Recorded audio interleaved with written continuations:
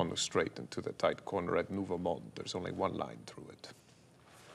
Behra pulls up next to you, challenging. You're even. But two objects cannot occupy the same point in space at the same moment in time. Behra doesn't lift. The corner races at you. You have perhaps a crisis of identity. Am I a sportsman or a competitor?